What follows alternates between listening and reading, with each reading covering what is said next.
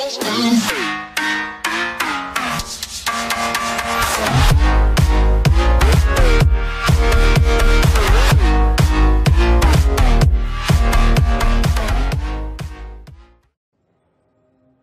wirklich schönes Dorf hat der Anton äh, mir hier eingeschickt. Äh, gefällt mir sehr, sehr gut. Wie man allerdings auf so einen Namen kommt, JK Lutz Case 33562, das weiß ich allerdings nicht. Trotzdem herzlich willkommen zu einer weiteren Folge Clash of Clans mit mir, dem Thorsten. Ja, ich fange mit dem Dorfbesuch heute einmal an. Und das Dorf gefällt mir, muss ich sagen, sehr, sehr gut. Was mir hier am besten gefällt, sind diese beiden Bauhütten. Die sind so richtig cool postiert hier zwischen den, zwischen diesen Dreiersatzmauern hier. Echt witzige Sache, aber ich vermute, da stecken irgendwo die, die Teslas noch zwischen. Die Base hier ist in jedem Fall so ziemlich maxed out, was Rathaus 9 angeht. Also zumindest die defensiven Gebäude, also die Verteidigung und King, Queen äh, fast auf gleichem Level, der King schon ein bisschen höher, ja. Immer mal wieder sehe ich Leute, die legen einfach erstmal Wert auf den Dicken und ähm, leveln den hoch, aber ich gehe mal davon aus, dass mit dem nächsten Dunklen geht hier auch die Queen sicherlich hoch. Die Base sieht gut aus, ist auch noch nicht so stark, was die X-Bögen angeht, finde ich auch sehr, sehr gut. Ähm, da passt das Kriegsgewicht zumindest zu dem Heldenpärchen und zum Rest der Base hier. Und ähm, ja, ich denke mal, da wo er jetzt ist, die Queen ist übrigens gerade eben vor mir aufgewacht, ähm, da kann er, da wird er auch schon verteidigen, ist im Moment im Meister 3, war auch schon in Champion, also wunderbar, ist hier richtig krass aktiv, 211 Angriffe und auch 12 Verteidigungen. Es müssen jetzt nur noch ein bisschen die dunklen Truppen hoch, also gerade Schweinereiter, Golem und auch hier hinten die die Lufttruppe. Aber sonst, glaube ich, sieht der Account gut aus. Und ich denke mal, der Anton hier vom Clan Win Wintage, Vintage heißt es, glaube ich, Club, ist sicherlich zufrieden. Ja, warum brodelt es eigentlich bei mir? Weil ich im gleichnamigen Clan bin. Ich bin bei den Brodlern vom Dienst 2, so heißt dieser Clan hier, aber oh, ich muss mir erstmal was abholen. 2500 X-Bögen. Ich hoffe, die habt ihr auch schon hinter euch. Ich habe sie jetzt endlich mit diesem Account auch hinter mich gebracht. Allerdings steht das hier schon fünf Tage. Dann holen wir es uns jetzt auch ab, bevor die Games noch schlecht werden. Und dann bleiben wir gleich hier oben. Willkommen bei BVD 2. Ähm, es ist nicht nur ein Spiel, es sind die Leute, die sich hinter ihren Dörfern verstecken. Freiwilliger Dauerkriegsklan. Ja, wunderbar. Ähm, aber ob die denn auch so gut hier im Clankrieg sind, das wollen wir uns jetzt mal anschauen. Bevor wir aber loslegen, wollte ich noch auf Folgendes hinweisen. Wenn ihr den Client mal wieder auf Englisch stellt, macht es ruhig. Hier gibt es immer aktuelle News. sicherlich habt ihr mal wieder einige verpasst, falls ihr euren Client auf Deutsch spielt. Also, das hier ist auf jeden Fall ganz witzig. Äh, Clan Receive, How to Make a Clan ähm, ist aber just for fun und ähm, kann man sich aber trotzdem mal so ein bisschen durchlesen und ähm, ist es eine, es ist, ein, es ist eine witzige Anekdote auf Clans oder wie mache ich oder wie baue ich mir eigentlich einen Clan, wie sollte er aufgebaut sein, wie viel Älteste, wie viel Member und so weiter. Also ganz, ganz witzig und es gibt natürlich auch demnächst wieder ein Incoming oder Upcoming Event, ähm, äh, Drachen-Event, so wie ich das sehe, mit Blitzzauber. Und ich kann euch jetzt schon, glaube ich, verraten, weiß ich gar nicht, es gibt ein Heldenbuch. Also für alle, die jetzt laut genug geschrien haben, dass es ja bei den Clanspielen kein Heldenbuch gibt, da soll es wieder eins geben. Aber jetzt machen wir erstmal Action. Wir fangen an mit dem Spotlight auf Athena. Und es ist ein Rathaus 10, aber nicht so, nicht so deutlich und wirklich stark. Also die Helden lassen natürlich so ein bisschen zu wünschen übrig, aber das ist ja jedem selbst überlassen. Leider gehen jetzt die, leider kriegen die Golems das nicht mit, dass da jetzt das Loch auf ist. Ah, doch einer. Einer bekommt's mit. Aber ich denke mal, als Rathaus 10 hier hat er doch schon relativ äh, gute Truppen zusammen. Vierer Golem und dann vor allen Dingen die ähm, Lavahunde auf, auf einen ziemlich hohen Level, also für Rathaus 10 sind die ja auf 3 erstmal maxed und ähm, kommt ja jetzt schön durch die Base rein. Sie war jetzt nicht so fürchterlich stark, aber man kann sich auch immer mal mit der Stärke von Bases vertun und ähm, geht ja aber gut durch. Hier hinten noch die, die Bowler vor allen Dingen mit dem Golem und dann ist das auch schon gewesen hier. Also schnelles Ding hier und dann ist man durch so eine Base natürlich ruckzuck durch mit den Loons hier. Wenigstens ähm, ist ihm der ist, ist ihm ein Lavahund geplatzt, der, der andere schwebt hier hinten noch rum. Das ist immer ein bisschen unglücklich, wenn man dann überhaupt keine Truppen mehr im Feld hat, weil die Lavahunde komplett überleben. Da muss man vielleicht mal umplanen auf so eine relativ leichte Base hier, sich dann sagen, komm, ich nehme mal nur einen, einen Lavahund mit, den Rest machen sowieso hier meine, meine Loons. Und ähm, ja, aber trotzdem, ich denke mal, ist ein schöner Einstieg hier und ein ja, kleiner Dip, aber 100 Prozent. Ja, warum ich das so betone, das könnt ihr euch jetzt in diesen abgekrampften Angriff mal anschauen. Also, oh Gottchen, naja. Äh, er startet hier hinten. Äh, da ich den Angriff selber gemacht habe, weiß ich, wo ich gestartet habe mit meiner Clanburg. Also erstmal ein Golem vorweg mit einem Riesen. Der Riese kriegt jetzt auch erstmal Beschuss vor dem Golem. Das fand ich sehr, sehr gut. Und so ein bisschen Cleanup, beziehungsweise ein bisschen kleinen Funnel mit den Magiern. Und dann geht das hier rein in die Base, ja, und dann, ich weiß auch nicht, ich weiß gar nicht, warum ich erstmal nur einen Bowler setze. Oh, ich hätte gleich alle raushauen sollen, ähm, denn dann wären die mir jetzt nicht so, nicht, nicht ganz so weggeglitscht. Und äh, Sprungzauber habe ich mal genommen, den hätte ich mir, den hätte ich mir fast sparen können. Aber der King geht schon mal zur Queen. Das, und die musste in jedem Fall weg. Meine Queen, ja, jenseits von Gut und Böse da hinten. Ah, meine Herren, ist die, äh, kann die dem Dicken hier nicht folgen. Also irgendwie ist das noch nicht so das richtige Pärchen. Und dann mit den Lufttruppen hier, also mit Lavahunden und Loons geht's dann hier in diese Base rein. Denn die Luftabwehr war jetzt nicht so stark bei dem neunhalber hier. Und ähm, auch die, die Tesla waren noch nicht auf Max-Level für ein Rathaus 10 oder für 9,5. Oftmals sind da ja genau die Sache Max, hab jetzt noch einen Hund, der fliegt jetzt noch zur letzten Luftabwehr, ja, und dann ist das, ah, da ist das so zäh hier. Ich weiß gar nicht, und jetzt guckt euch das an, meine Queen da oben, gerade noch so gesehen, von einem Skelett erledigt. Scheiße. Naja, habe ich mich ein bisschen geärgert, dass die nicht wenigstens schon mal das Rathaus geholt habe, denn ihr seht das hier, es ist noch so viel von dieser Base über. Setze jetzt schon mal mein Clean ab und ich habe ja kaum noch was hier in der Luft nur noch mein Lavahund und deswegen habe ich eben gesagt, wenn der nicht aufploppt, hast du ein Zeitproblem. Und äh, ja, jetzt habe ich aber auch nicht mehr so viel Defense. Ja, der Magiertum wird den Hund hier kaum schaffen. Und dann hatte ich echte Sorge und habe gedacht, bitte, bitte, bitte, lass diesen Hund noch zerplatzen. Und ich hatte Glück. Ich hatte Glück, der Hund zerplatzt. Und dann habe ich wenigstens noch ordentlich Truppen jetzt hier im Feld, die ähm, das Ganze hier machen, denn es wurde dann auch zeitlich für mich ein ganz klitzekleines Problem. Äh, glücklicherweise ähm, hatte ich, glaube ich, alle Luftfallen ausgelöst. Nicht, dass mir da jetzt dann noch die Welpen irgendwo flöten gehen, denn die fliegen ja auch dann immer irgendwo zusammen. Und ähm, eine blöde Luftbombe dann, dann ist das auch für die Welpen hier gewesen. Aber ich glaube, den haben wir ganz gut gemacht. Ja, den haben wir noch gerade so gerettet. Da, da ist sie nämlich, die Luftbombe. Oh, da habe ich gedacht, nein, nein, nein. Aber ich hatte dann am Ende, ich glaube, noch drei, vier, fünf Sekunden Zeit. Also passte gerade so, war irgendwie abgekrampft. Naja, drei sind drei, auch wenn sie unschön sind. Auch im Rathaus 11 Bereich wurde natürlich gekämpft, gar keine Frage. Es gab auch einen Rathaus 10 Bereich, den überspringe ich heute einfach mal.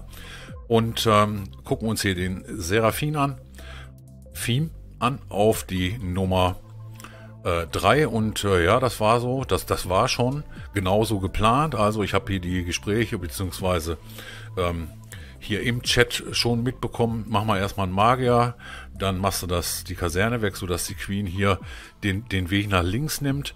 Die kriegt jetzt schon richtig, ah, kriegt schon ganz gut Beschuss da mit Clanburg, aber die Heiler und er lässt sich äh, mal richtig Zeit. Vielleicht eine kleine Ecke zu viel Zeit, denn das war es jetzt schon mal mit der Queen, aber die Clanburg ist weg. Also gar nicht mal so schlecht gemacht hier. Jetzt geht's hier erstmal weiter mit Golem. Ja, der wird jetzt geheilt. Okay, der Golem wird geheilt. Ist vielleicht auch ein bisschen unglücklich. Jetzt geht's hier nochmal etwas tiefer in die Base mit Mauerbrechern.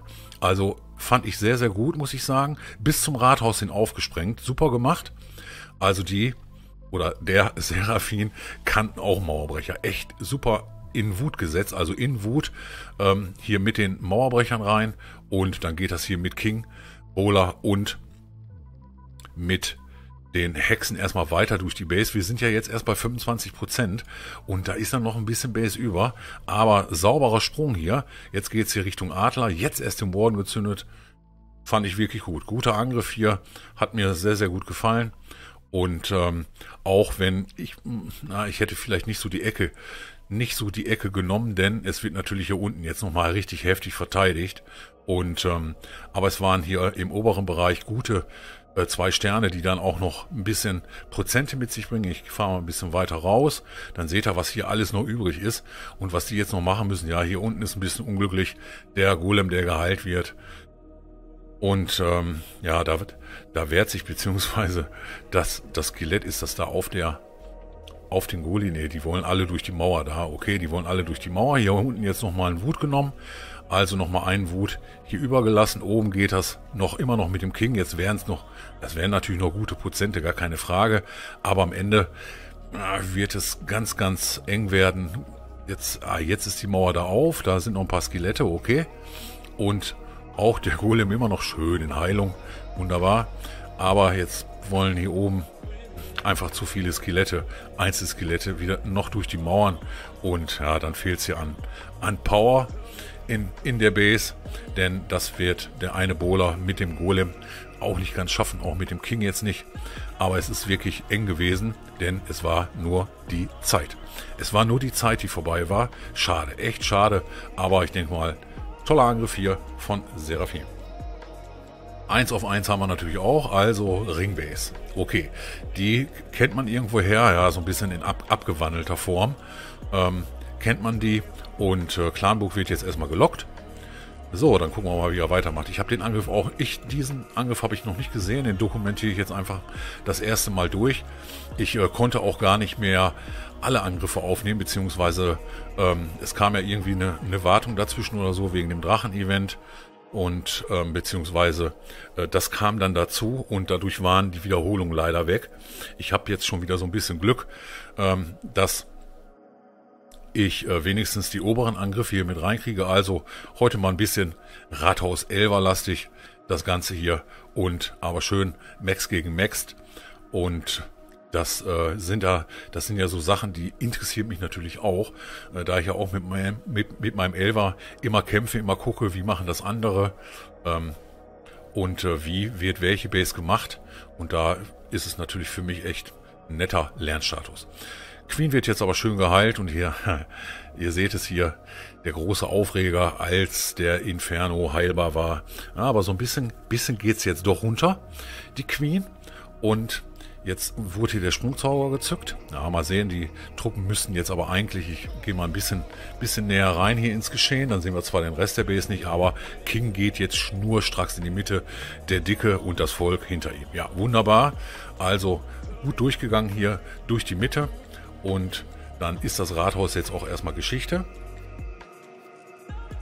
Worden auch extrem spät gezündet.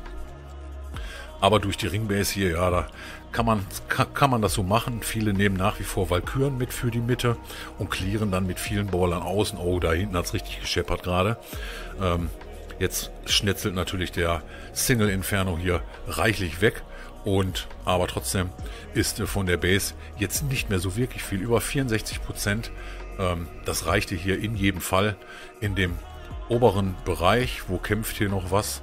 Ähm, ich spule mal auf vierfach vor. Ah, hier werden die letzten Prozente gerissen. Okay. Ja, die Heiler werden jetzt natürlich nicht mehr zu dieser Truppe hier fliegen. Und dann ist das aber auch gewesen in 2-1-0. Feierabend. Okay. Aber schönes Ding hier von Seza auf die Nummer 1 und wir haben den Clankrieg auch gewonnen. Ganz knapp 28, 27.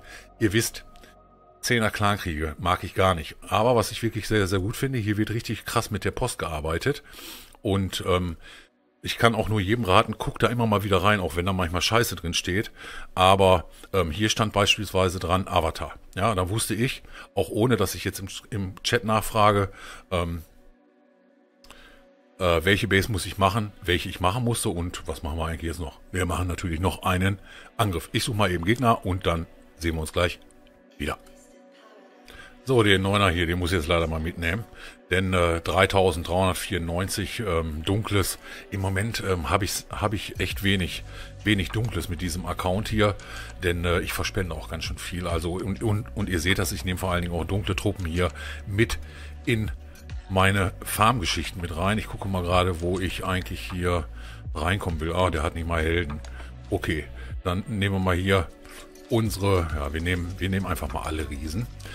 Ich hatte noch ein paar in der Clanburg hier und äh, dann gucke ich mal, ob ich Mauerbrecher kann. Da schießt jetzt der Minenwerfer. Dann kann ich jetzt meine Mauerbrecher hier losschicken. Meine Helden und die drei Packies.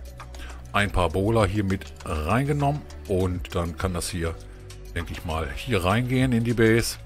Wir schauen mal, wie die jetzt so laufen und wo ich denn eigentlich jetzt meinen Wut gleich mal ansetze. Denn wenn man den Wut ja manchmal ein bisschen zu früh startet, dann kann es auch schon schnell mal sein, dass die Truppen hier irgendwie ja, so rennen, wie du es eigentlich nicht möchtest. Äh, denn dann rennen die irgendwie wieder raus. Aber ich glaube, der Sprung hier, den nehmen jetzt erstmal alle. Und dann sieht das noch ganz gut aus. Ich muss mal gucken, wo ich gleich heilen muss. Mal sehen, ob ich überhaupt dann alle Zauber brauche. Hier hinten ist der dicke. Ah, ich glaube, ich glaub, wir heilen hier hinten mal durch die Parabola da mit dem äh, mit dem King und hier versetzen wir nochmal den Packer in Wut mit der Queen. Dann ist es das auf der Seite gewesen. Hier tanken ja ganz gut die Riesen. Ja, sieht ganz gut aus. Ist jetzt auch nicht so die Superbase, aber ich muss unbedingt das Dunkle nachfarmen. Und wenn es halt einen RA9 hat, dann hat es halt einen RA9. Ich bin nicht schuld, dass Supercell hier immer so ein komisches Matchmaking hat. Ähm, warum man dann auch vermeintlich schwächere Gegner hat. Aber ist egal. Okay, ja, lasst euch mal überraschen, was am Wochenende gibt, denn es wird ultra ultra anstrengend und es wird ultra ultra spannend. Also ich ähm, werde mit Thorsten den Clan, wo ich jetzt bin, ja verlassen und ähm, ein 50er Clankrieg mitspielen, aber ich werde nicht streamen. Ich werde nicht streamen. Ähm, das äh, mache ich zur, zur Zeit ja nicht. Das äh, hatte ich ja auch schon, glaube ich, mal gesagt und ähm, ja, mal mal sehen, wie wir da weitermachen. Aber hier ist jetzt erstmal der hier auf Null. Und es ist gerade einer reingekommen hier. Den musste ich jetzt gerade abschütteln. Und dann äh, würde ich sagen, ist es das aber gewesen hier von mir. Ähm, ja, ich mache mich jetzt in jedem Fall so ein bisschen unattraktiv. Das heißt, ich leere jetzt mal meine, meine Clanburg hier, beziehungsweise die Treasury und äh, stoße jetzt sicherlich noch was an hier. Es gibt hier noch reichlich Bogenschützentürme, sehe ich die noch abgedatet werden möchten, dann nehmen wir erstmal den. Ich habe auch noch ein Buch, da muss ich mal gucken, wo ich das verhaue und ein bisschen muss ich auch noch für die Queen wieder reinfahren. Ja, ich habe zu tun. Ich würde sagen, bis dahin, euer Toto. Flasht.